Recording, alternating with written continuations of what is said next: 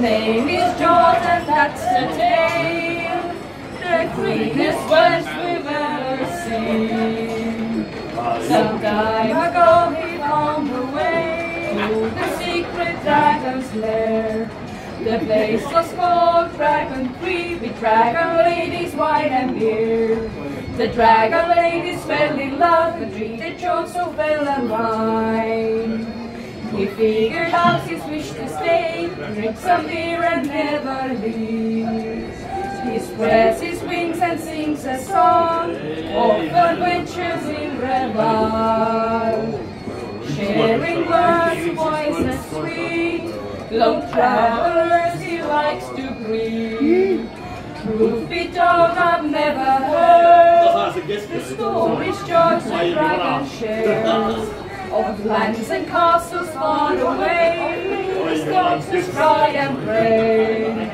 The tale is so that Dragon George decided to be dragon born. So now whenever moon is full, the Dragon George is back in town.